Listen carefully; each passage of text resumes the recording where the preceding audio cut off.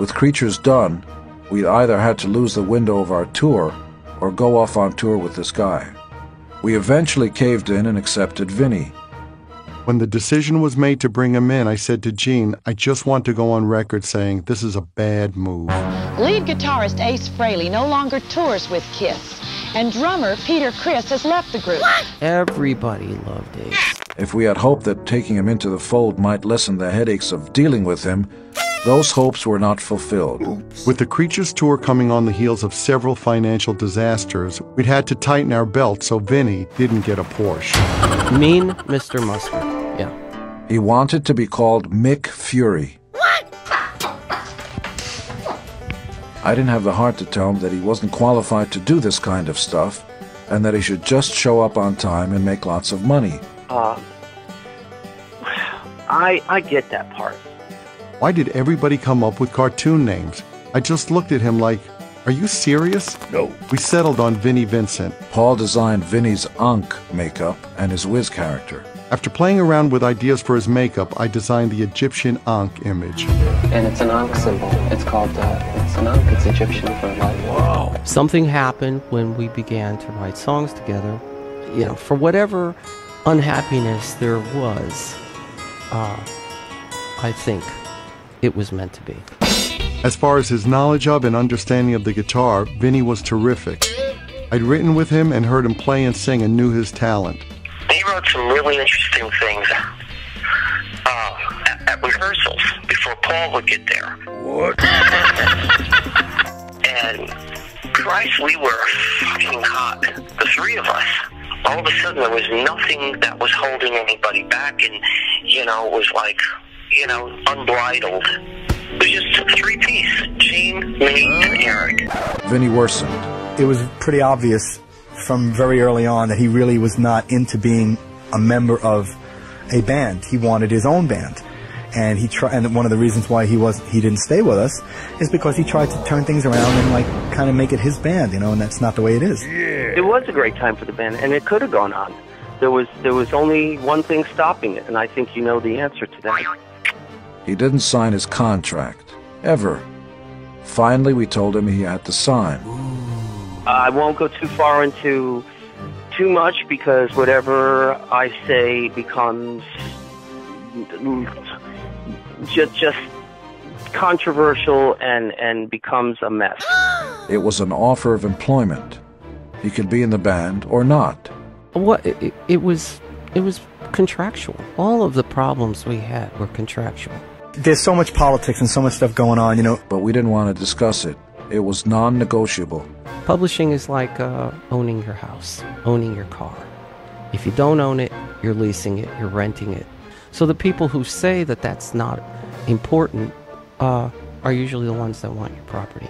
All I had asked for was to to be treated fair, you know.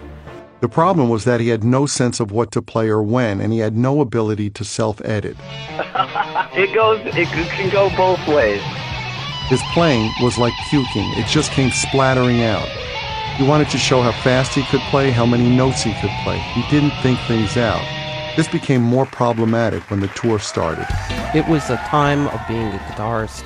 That's what I wanted to be, you know. That was my time. But working in context of what th- the band was, I'd say that I give them uh, credit for knowing more than me.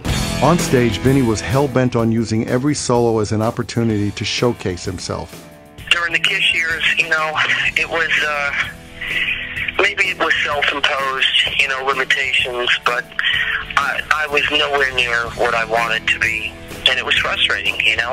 And I thought I'm never going to be the, the guitarist I want to be. I, I'm never going to reach it, you know. He was intensely jealous of guys like Randy Rhoads and Jakey Lee because he thought he was as good as them. you know, you know, it, it was, it was, you know, went home frustrated. He wanted his just due, and his solo spot in the middle of the show became ungodly long. We used to call it the high point of the show because everybody in the audience left to go get high. Uh, but I love them. I love them both. I, I don't know why it's this continuous need to to say these things, but I won't. I won't say I won't I won't go there because uh, because I think everything that had happened was very special. And I think fans know it. I think it was a great chapter in the band's career. Uh, I don't know. I can't speak for them. The Creatures tour did horrendously in most markets. Before we went on stage, we'd hear, You wanted the best, you got the best, the hottest band in the land. And we'd walk out to find nobody was there. What's a great point we're real proud of is that this tour is our 10th anniversary. We had packed the same venues a few years before, but now, if I threw my guitar pick too far, it sailed over people's heads and landed on the floor. We left blood, as they say in the business. It was a death march for us and for the concert promoters. We got back on track with Creatures, but fans were not that forgiving. It was going to take years to win back our fans and make new fans. We had betrayed them. I figured one of the things that, that people want, they want to hear Vinnie play. Oh, God. Not always can you have a band and have a certain I hate this word magic, but it, it, it is a magic. It's something that you can't put it into words. The Beatles had it. I loved the position I had. I loved the stature of the band and how I was perceived. And losing that was horrible. I dealt with the depression by sleeping. It was my way of checking out. I was so depressed that I couldn't keep my eyes open anywhere. It got so bad that I fell asleep in the dressing room before shows. I still looked to Donna for a sense of calm and security. I could spend hours talking to her on the phone every day. She was gearing up for the release of Dr. Detroit. She told me once again that she needed space. I don't know whether the tour situation or the overall band crisis affected Gene. No. Eric, for his part, didn't understand the financial side. He wasn't aware of how the disastrous turnouts related to our budgeting. He just loved being in the band and loved playing the material from the new album. One morning, just before we left for South America for the last leg of the tour, I glanced at a copy of the newspaper and a small article caught my eye. The actress Donna Dixon has married her Dr. Detroit co-star Dan Aykroyd, newly discovered paperwork shows. The marriage license came to light in Martha's Vineyard. What? Martha's Vineyard? Turned out they had already been married for three months. Suddenly, I felt like I was underwater. I could barely move. I called her. You were married when we were talking? She said something about how she hoped I would find what she had found. No explanation, no apology. I hung up. From then on, it was a struggle to do anything. Kiss was now made up of Eric Carr, Vinnie Vincent, Paul, and me. We liked Creatures of the Night and hoped for the best, but the album did poorly. The reason that it didn't do as well is because when The Elder came out, fans that were already a little, you know, disillusioned and afraid about what was happening with the band, with Peter leaving, um, and then, you know, bought The Elder, and maybe they weren't prepared for that because it was a real departure. Uh, they probably, I'm sure, a lot of fans stayed away from Creatures, just being like afraid to to find out what the band was into. They thought that you know it was going to be more of the same or even softer. I toured in Australia and Europe and New Zealand with them when I first joined. I haven't played in the States yet, and I'm still, you know, there's still that challenge, there's that one final hurdle for me personally. When I already played the hometown, the first show that I did with, uh, with Kiss was the Palladium. took such a long break that some people thought that uh, we had somehow vanished into thin air. We stayed in New York for a while and did sort of normal things like stay out all night and go to clubs and have lots of girls and After I struggled out of bed one day to get to an interview, the reporter asked me, How does it feel to be on the Titanic?